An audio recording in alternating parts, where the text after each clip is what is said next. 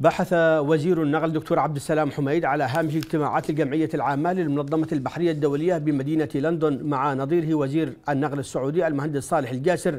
بحث أوجه التعاون المشترك بين البلدين الشقيقين.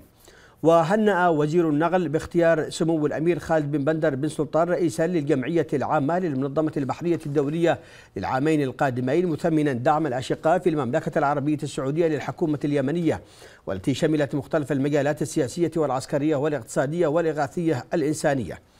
كما ثمن الوزير حميد أوجه الدعم والاهتمام بقطاع النقل في اليمن عبر البرنامج السعودي لتنمية وأعمار اليمن متطرقا إلى احتياجات الموانئ في المناطق المحررة لزيادة جذب السفن التجارية. وبدوره أكد وزير النقل السعودي على عمق العلاقات التاريخية بين اليمن والمملكة. ومثمنا وقوف اليمن أثناء ترشيح المملكة لرئاسة المنظمة البحرية الدولية. مؤكدا استعداده تقديم أوجه الدعم اللازم للوزارة. حضر اللقاء نائب وزير النقل السعودي الدكتور رميح الرميح وسكرتير أول السفارة اليمنية في لندن في لندن بدر الدهبلي.